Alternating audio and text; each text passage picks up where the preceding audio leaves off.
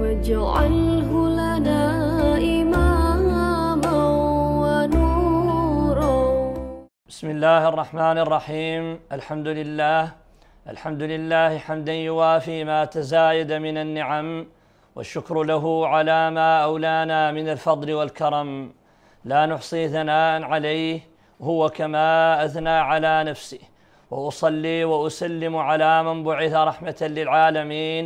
نبي الرحمة صلوات ربي وسلامه عليه وعلى آله وصحبه ومن اهتدى بهديه واستنى بسنته إلى يوم الدين. لك الحمد مولانا على كل نعمة ومن جملة النعماء قولي لك الحمد. فلا حمد إلا أن تمن بنعمة تعاليت لا يقوى على حمدك العبد. يا رب صل على النبي المصطفى ما اهتزت الأثلات من نفس الصبا. يا رب صل على النبي وآله ما كوكب في الجو قابل كوكبا. يا من يرى ما في الضمير ويسمع أنت المعد لكل ما يتوقع. يا من يرجى للشدائد كلها يا من إليه المشتكى والمفزع يا من خزائن رزقه في قول كن. أمن فإن الخير عندك أجمع. ما لي سوى فقري إليك وسيلة فبالافتقار إليك فقري أدفع. ما لي سوى قرعي لبابك حيلة فلئن رددت فأي باب أقرع. ومن الذي أدعو وأهتف باسمه؟ إن كان فضلك عن, فضل عن فقيرك يمنع حاشا لفضلك أن يقنط عاصيا. الفضل أجزل والمواهب أوسع.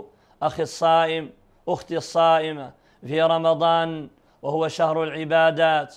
وأجل عبادة في رمضان ذكر الله تعالى. ولماذا ذكر الله تعالى؟ لأن ذكر الله تعالى دليل أيها الصائم على محبتك لله دليل على أن قلبك مليء بحب الله لأنه كما قال الشاعر ونرشح بالأذكار شوقا لربنا وكل إناء بالذي فيه يرشح ولذكر الله أكبر كما قال الله سبحانه وتعالى واتل ما أوحي إليك من الكتاب وأقم الصلاة إن الصلاة تنهى عن الفحشاء والمنكر ولذكر الله أكبر والله يعلم ما تصنعون. يقول الإمام ابن كثير رحمه الله تعالى قول الله سبحانه وتعالى هنا ولذكر الله أكبر. فيه دليل على أن الصلاة فيها أمران أمر أنها تكف الجوارح عما لا يرضي الله سبحانه وتعالى والأمر الثاني أنها تشتمل على الذكر ولكن الذكر هو أفضل هذه الأنواع. لذلك قال الله عز وجل ولذكر الله أكبر ذكر الله أيها الصائم لا يوفق إليه إلا الموفقون ولا يهتدي إليه إلا المهتدون. لذلك كثير منا يسمع مسألة الذكر ولكن القليل منا هم الموفقون لها. لذلك قال العلماء مسألة الذكر واضح فيها التوفيق الالهي لماذا؟ لأنك تجد الناس مجتمعين في مكان واحد إما جالسين في غرفة وإما جالسين وإما هم في مكان ينتظرون أمرا ما. فتجد هذا يذكر الله عز وجل وذاك لا يذكر الله. ما الذي جعل هذا يذكر الله؟ وجعل ذاك لا يذكر الله وقلبه خالي خال من ذكر الله. إنه التوفيق الإلهي. لذلك يقول الله سبحانه وتعالى يا أيها الذين آمنوا اذكروا الله ذكرا كثيرا وسبحوه بكرة واصيلا. فلم لا نكون وإياكم أيها الصائمون من الذاكرين لله أسأل الله سبحانه وتعالى أن يجعلنا وإياكم من الذاكرين الله كثيرا والذاكرات. ما هو جزاؤهم؟ يقول الله سبحانه وتعالى والذاكرين الله كثيرا والذاكرات. أعد الله لهم مغفرة وأجرا عظيما. لذلك هذا الذكر بجميع أنواعه فضل من الله وهو دليل ومن أشد الأدلة على أن الله عز وجل يوفقك. لذلك لما أسر الله عز وجل بحبيبه ونبيه محمد صلوات ربي وسلامه عليه ووجد الأنبياء ومن بين الأنبياء أبو الأنبياء إبراهيم عليه الصلاة والسلام. ماذا قال إبراهيم للنبي صلوات ربي وسلامه عليه؟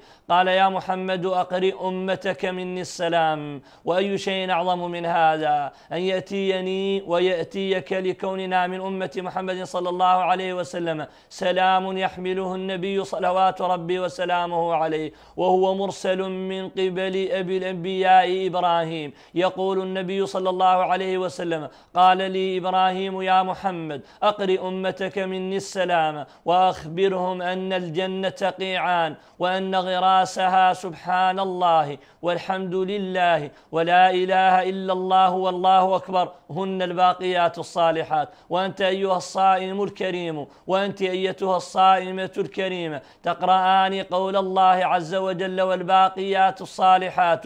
خير عند ربك ثوابا وخير مردا. وتقرؤون كذلك قول الله والباقيات الصالحات. خير عند ربك ثوابا وخير أملا. فلم لا نكثر من هذه الباقيات الصالحات بل نكثر من جميع ما يتعلق بذكر الله عز وجل. أتدرون ما الجائزة إن الجائزة عظمى أيها الذاكرون أيها الموفقون لذكر الله. يقول الله عز وجل فاذكروني أذكركم أي شيء أعظم من هذا. لك أن تتخيل أنك إذا ذكرت الله فإن الله عز وجل يذكرك كما في الحديث أنا عند حسن ظن عبدي بي فإن ذكرني ذكرته فإن ذكرني كما قال الله عز وجل في نفسه ذكرته في نفسي وإن ذكرني في ملأ ذكرته في ملأ خير منهم. ورضي الله عز وجل عن الصحابة الكرام. لذلك لما قال النبي صلى الله عليه وسلم لأبي بن كعب يا أبي إن الله عز وجل أمرني أن أقرأ عليك فبكى أبي بن كعب وكيف لا يبكي؟ ثم قال يا رسول الله أو ذكرت هناك لأنك صاحب ذكر يذكرك الله عز وجل وهذه أعظم فائدة وهذا أعظم تشريف أن يذكرك الله عز وجل. لأنك من الذاكرين. قال أبي بن كعب رضي الله عنه يا رسول الله أو ذكرت هناك. وفي رواية أخرى أن أبيا قال للنبي صلى الله عليه وسلم يا رسول الله أو سماني لك؟ أي شيء أعظم من هذا؟ لذلك علينا أن نكثر من ذكر الله عز وجل لأن ذكر الله عز وجل دليل على أننا مؤمنون بالله حق الإيمان ودليل على أننا مشغولون بعبادة الله ونحن في شهر الصيام والأمر فيه مضاعف لأن كل عمل في رمضان مضاعف أيها الصائم الكريم. إذا قلت سبحان الله قبل رمضان وقلت سبحان الله في رمضان فإن أجرها مضاعف. لذلك قال النبي صلى الله عليه وسلم أحب الأعمال إلى الله عز وجل وأحب الكلام إلى الله عز وجل. سبحان الله والحمد لله. وأنا أسألك أيها المشاهد الكريم كيف تأخذ كم من الوقت يأخذ منك قول سبحان الله والحمد لله؟ إنه والله ثم والله لقليل. ولكن أجره عظيم عند الله عز وجل. سبحان الله والحمد لله. ولا إله إلا الله. والله أكبر. أكبر كم تضيع من الوقت أيها المشاهد الكريم؟ وكم تضيعين من الوقت يا أختاه وأنت صائمة أو غير صائمة؟ وإنك وإنك أيها المشاهد إذا تأمل أحدكما هذا الأمر سيجد أن أربعة وعشرين ساعة هي له فإن وظفها فيما يرضي الله سبحانه وتعالى بل إن وظف منها دقيقة فإن كل دقيقة يمكنك أيها الصائم أن تأتي بأي ذكر من الأذكار فتذكر الله عز وجل مئة مرة فيا لله الأمر لا يحتاج إلى كثير موعظة لكنه يحتاج إلى التوفيق الإلهي أن يوفقك الله عز وجل فيجعلك من الذاكرين. والذاكرين الله كثيرا والذاكرات أعد الله لهم مغفرة وأجرا عظيما. فلم لا ندعو الله عز وجل أن يجعلنا وإياكم من الذاكرين الله كثيرا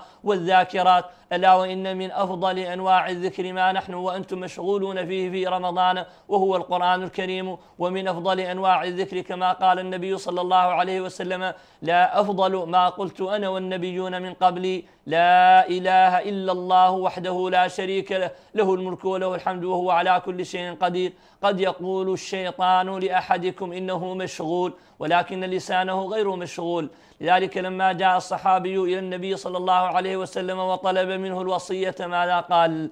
قال لا يزال لسانك رطبا من ذكر الله تعالى ومن فوائد كثرة ذكر الله تعالى أنه يمنعك أيها الصائم من المعاصي. ألا تستحي من الله عز وجل وأنت تذكره؟ وهذا من أعظم فوائد الذكر أنه يحجز بينك وبين آه، معصية الله وكما قال الله سبحانه وتعالى ولذكر الله أكبر والله يعلم ما تصنعون. أيها المشاهدون الكرام أسأل الله سبحانه وتعالى أن يجعلنا وإياكم من الذاكرين. الله كثيرا والذاكرات. وأن يتقبل منا ومنكم الصيام وأن يجزي عنا وعنكم والدينا بالإحسان إحسانا. اللهم اجز عنا والدينا بالإحسان إحسانا. اللهم اجزهما عنا بالنظر إلى وجهك الكريم. من كان من والدينا حيا فأطل اللهم عمره واجعله ممن طال عمره وحسن عمله وجعلت الجنة مثواه. ومن كان من والدينا ميتا فابدله دارا خيرا من داره وأهلا خيرا من أهله يا رب العالمين. والسلام عليكم ورحمة الله وبركاته. الله